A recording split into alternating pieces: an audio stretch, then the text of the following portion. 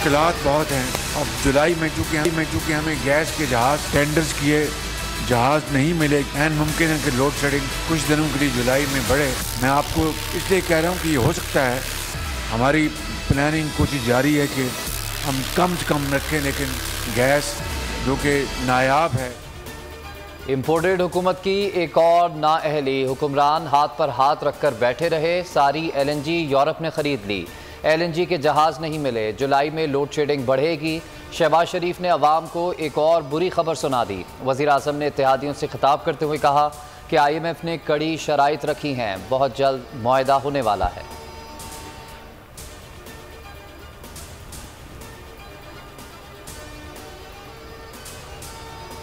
महँगाई के मारे आवाम को एक और झटका, बिजली कीमत में सात रुपये नब्बे पैसे मजीद इजाफा। मई के चार्जेस वसूल किए जाएँगे। शदीद गर्मी में गैर एलानिया तवील लोड शेडिंग ने आवाम की ज़िंदगी अजीरन कर दी। मुल्क भर में शॉर्ट फॉल पाँच हज़ार छः सौ पच्चीस मेगावाट हो गया। कराची में लोड शेडिंग का दौरान या पंद्रह घंटे तक पहुँच गया। आवाम का सबर जवाब दे गया। पी आई बी कॉलोनी और माड़ीपुर में शहरियों का एहतजाज।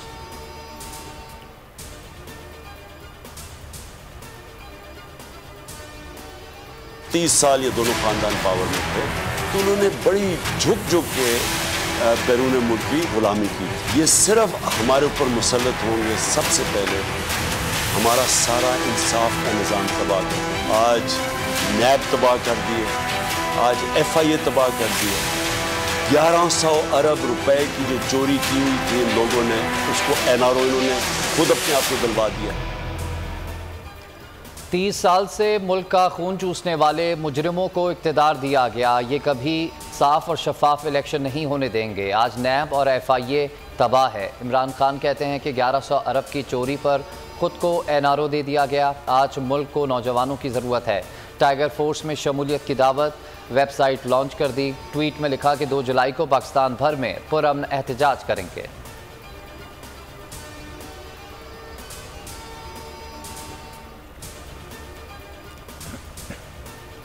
पीटीआई कोर कमेटी की अहम तरीन बैठक, इमरान खान ने कहा, मीर जाफरों की सरकार जमहूरी इकदार की धज्जियाँ उड़ा रही है। ऐसे इकदाम किसी आमिर ने भी नहीं किए।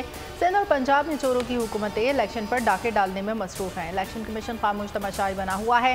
गुलामों को कौम पर मुसलत रखने के लिए पूरा जमहूरी निज़ाम दाव पर लगाया जा रहा है।